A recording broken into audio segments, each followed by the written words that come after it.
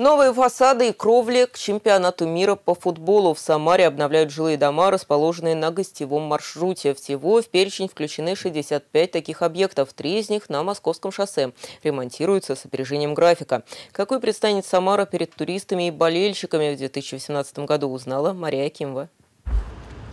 На Московском шоссе вовсю идут ремонтные работы. И не только на дороге. Три дома, 151, 153, 155 преображаются на глазах. Специалисты утепляют и красят фасады. Подрядчики уверяют, используют только качественные современные материалы. И обещают, такой ремонт прослужит не менее полувека.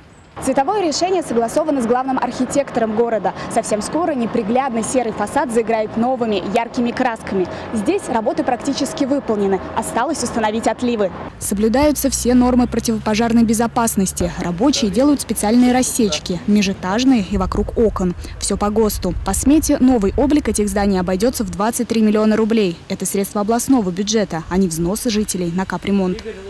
Спасибо нашим властям. В общем, мы довольны. А сейчас вот делают нам дом, облагораживают. Нам тоже очень нравится. Если бы даже мешали, мы все равно бы вытерпели это дело, ведь для нас же стараются. Жилфонд областной столицы приводит в порядок в преддверии чемпионата мира по футболу. Кровли и фасады обновляют там, где пройдет гостевой маршрут, чтобы Самара предстала перед глазами туристов и болельщиков только с лучшей стороны. В настоящий момент как раз разрабатывается перечень адресов, которые у нас будут отремонтированы в 2017 году. Пока этого перечня нет утвержденного. Я думаю, что в течение ближайших двух недель он появится. Объем средств на следующий год определенный уже есть. Я думаю, что где-то в течение ближайшего месяца эту информацию мы готовы будем представить.